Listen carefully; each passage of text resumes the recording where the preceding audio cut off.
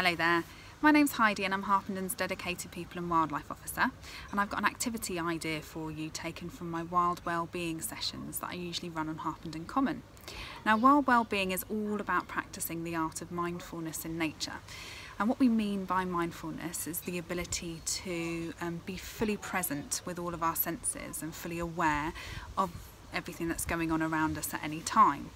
So for example, if our mind's normally busy with um, thoughts or worries or stresses, perhaps you're thinking about things you haven't done or need to do or yet still need to get done tomorrow or uh, whatever it may be, it's the ability to park all of that and not think about it and just be fully immersed in, um, in the experience that you're having. Nature is the perfect partner to do this with because there is always so much going on around us to um, grab our attention, for us to look at, see, experience with all of our senses. So my acti activity suggestion, if you're lucky enough to have a garden at home, then you can do this in your garden or even looking out of a window onto something natural, either a tree or shrubbery, whatever it may be.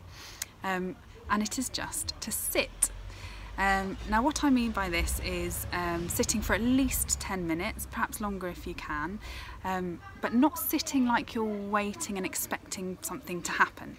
It's sitting and being open to any of the experiences that you might have. So for example, you might see something and it might grab your attention. Well, you go with it, you study it, you almost um, look at it with childlike quality as if you've never seen it before.